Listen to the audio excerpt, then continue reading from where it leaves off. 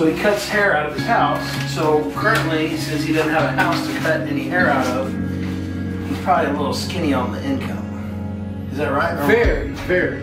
very skinny on the income. Yes.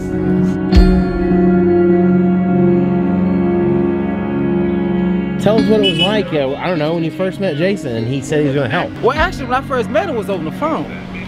So you know, we was kind of like, you know, Who is this guy? yeah, And he said he was going to help, and you thought you were a little suspicious. right, And then, right. and then this- now he's he- here. Yeah, he said he didn't blame me. He said, you know, that can happen to anybody. You know, someone finna do some work for you for free. You're supposed to be suspicious. Sounds too good to be true. There you go. There you go. So, uh, man, I, I just can't wait.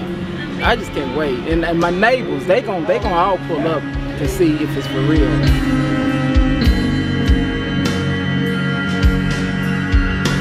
Hi, I'm Jared Hulcy. My brother Jason and I are co-owners of Load Bearing Wall Pros, and we started a non-profit down to the foundation to help people in need with their construction issues. Varron is a perfect example of that. It's our next project on our list. Hope that you'll help. Uh, there are three ways that you can give. You can uh, follow us on Facebook and find our uh, volunteer events. Get your hands on the action by getting dirty with us. Uh, option two, volunteer your time if you're a subcontractor. We'd love help with the different trades. And the third one is good old cash money, uh, the thing that drives it all. That's the way we can buy materials and so on in order to facilitate this project moving forward. But our whole purpose in what we do is not just the physical aspect of fixing someone's house down to the foundation.